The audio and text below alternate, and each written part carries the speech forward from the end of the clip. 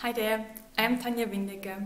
I'm not sure whether you just have going through that phase where you feel extremely numb or whether you had that in your past. As you know, I have complex post-traumatic stress disorder and this numbness, that hollowness and feeling of emptiness and disconnection is, is one of the features of uh, one of the diagnostic criteria for uh, post-traumatic stress disorder. And it is one of the most difficult um, feelings. Like, it's really not a feeling because it, it, it's nothingness, and it's the it's really hard to describe. I mean, if you've been through it, you know exactly what I'm talking about. But this is like this numbness and feelings of nothing. It's so heavy. It's and at the same time you're feeling empty. It's it.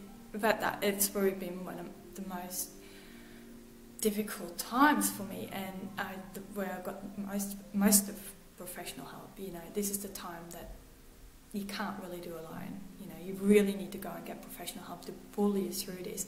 But I want you to think of it as a like a guitar with no strings. You know, it's just hollow and empty.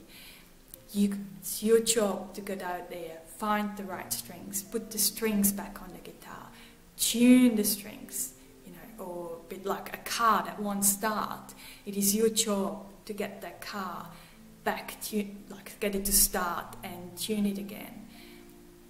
Because trauma means really that your neuronal pathways are disconnected.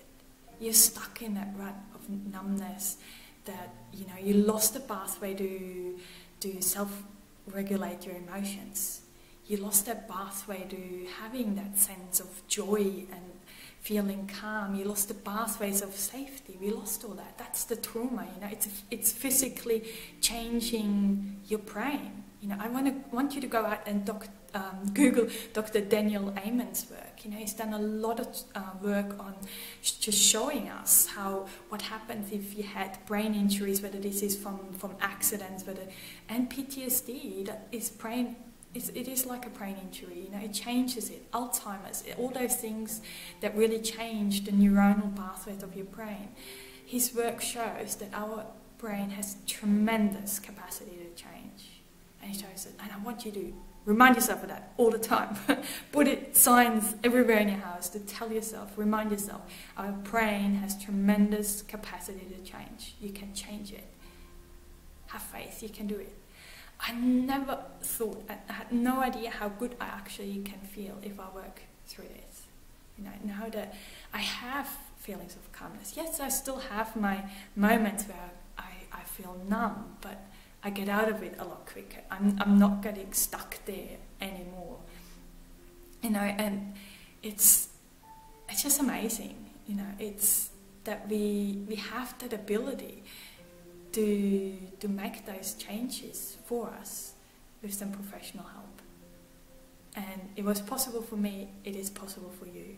I just want you to keep up the faith and work through it. You know, I know when we are numb, sometimes we don't make the, our choices. You know, we just so want to feel something, but maybe just use ice cubes, rub your ice cubes in the in the palms or on the heels of your foot, the re really, really sensitive areas to, to, to get a, a sense of something. And I want you to visualize times where you actually have been feeling good.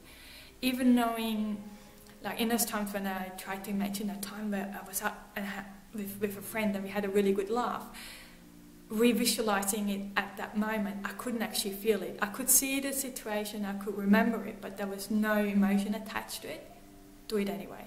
Keep reliving the good times, and eventually you will get some good feelings back. Eventually, slowly, you start building those new neuronal pathways. It's like trying to learn to tune a guitar. Okay, so it's it's it's a skill.